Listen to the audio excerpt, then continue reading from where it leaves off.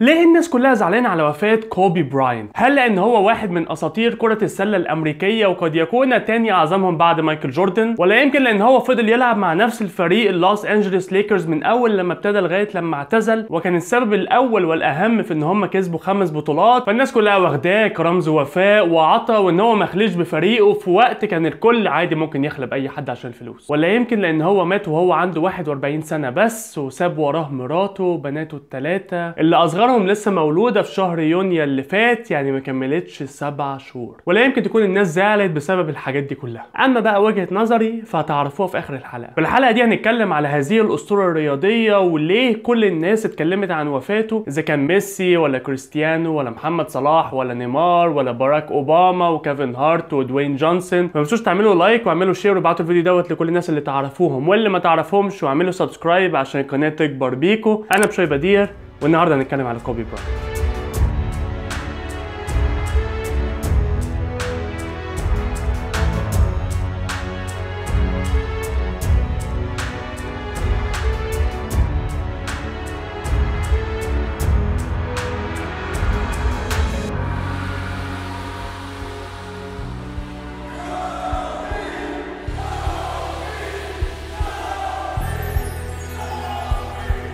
اتولد كوبي براينت في 23 أغسطس سنة 1978 في مدينة فيلادلفيا في محافظة بنسلفانيا في أمريكا. والده اسمه جو براينت كان هو كمان بيلعب كرة السلة وقعد 8 سنين يلعب في ال NBA في أمريكا وبعد كده 8 سنين اللي بعديها راح إيطاليا وكمل لعب هناك. ومن هنا كوبي براينت دخل المدرسة هناك وابتدى يتعلم لغات غير الإنجليزي بيعرف يتكلم إيطالي وإسباني ولغات تانية كتير بعد كام سنة رجع كوبي لأمريكا وكمل تعليمه هناك واشترك مع فريق السلة وحطم كل الأرقام ويقال إن هو دخل أكتر عدد اجوان في تاريخ الفريق بتاع السلة في المدرسة ديت اللي عدت 2883 نقطة في الكام سنة اللي لعبها. لغاية لما تم 16 سنة ومن هنا دخل ال NBA أو اتحاد كرة السلة الأمريكية واشترك اشترك مع فريق شارلوت هورنتس ولكن بعد حبة صغيرة اتنقل لفريق لوس انجلوس ليكرز في 1996 وفضل معاهم من ساعتها لغاية لما اعتزل في 2016 وكان بيلعب معاه ديناصور كرة السلة الأمريكية شاكيل أونيل وكسبوا مع بعض ومع الفريق كله ال championship أو البطولة السنوية ثلاث سنين ورا بعض سنة 2000 و2001 و2002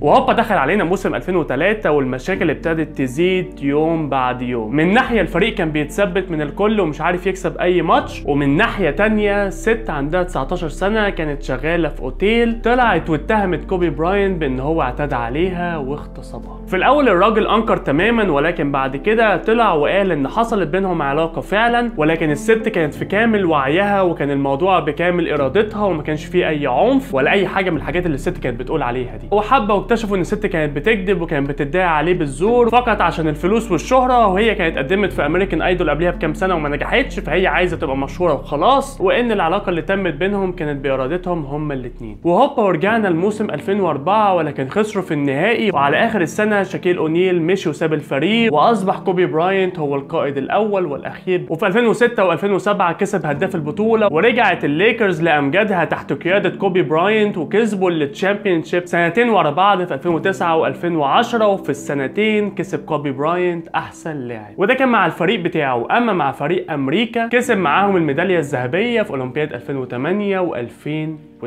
وفي موسم 2013 رغم انضمام لاعبين معديين زي دوايت هاورد وستيف ناش إلا إن الفريق خيب أمال الجميع. بالأخص بعد ما كوبي براينت جاله تمزق في وتر العرقوب اللي لو كانت قطعة كان الراجل هيودع كرة السلة كلها. ولكنه غاب الموسم دوت بس ورجع في الموسم اللي بعديه موسم 2014 ولكن الإصابات فضلت وراه. وراه. ولعب ست ماتشات بس واتصاب في ركبته وفضل راكن لغاية لما خلص الموسم. ورجع الموسم اللي بعديه وجاي اهو يلعب اتصاب في كتافه ورغم ان هو كمل ولعب الموسم كله ولكن كان باين قوي إن الإصابة مأثرة عليه وإن هو ما عادش عارف يلعب زي ما كان بيلعب زمان. ولهذا السبب قرر في آخر موسم اللي بعديه اللي هو موسم 2016 إن هو يعتزل. ومن هنا قال جملته الشهيرة إن دماغي بتقول لي كمل وعقلي بيقول لي كمل ولكن جسمي ما عادش يتحمل.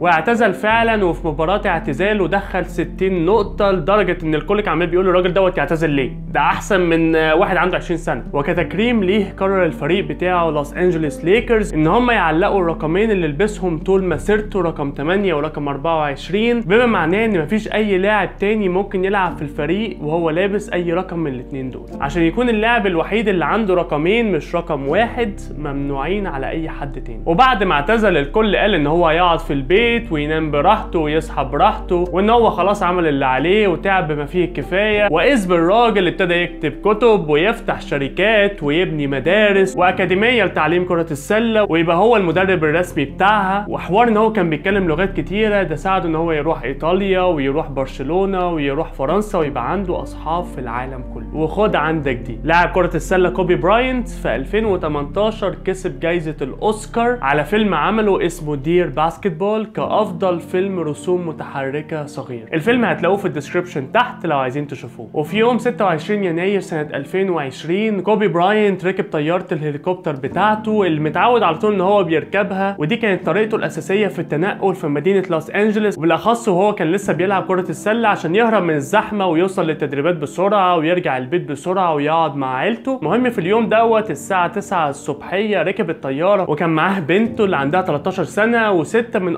أصدقائهم والطيار الرسمي بتاعه اللي ما بيستأمنش أي حد تاني يسوق طيارة غيره. ركبوا الطيارة ولكن بسبب الضباب العنيف وقتها الراجل ما كانش شايف قدامه فالطيارة ابتدت تنزل حتة بعد حتة لغاية لما خبطت في هضبة كبيرة ووقعت ومات كل الناس اللي موجودين في الطيارة كوبي براينت وبنته وسبع أشخاص تانيين.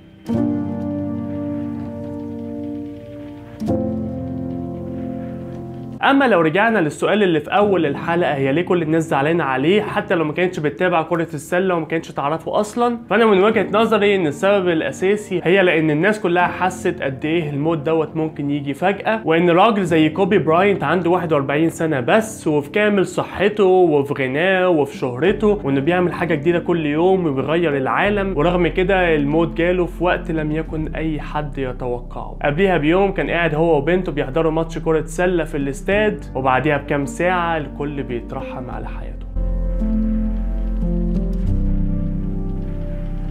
ودي كانت حلقتنا النهارده. أتمنى تكونوا انبسطتوا بيها. ما تنسوش تعملوا like لو عجبتكم واعملوا subscribe عشان القناة تكبر بيكم. واعملوا share وابعتوا الفيديو دوت لكل الناس اللي تعرفوهم. واللي ما تعرفوهمش أنا بيشوي بدير. وأشوفكم الحلقة الجاية. سلام.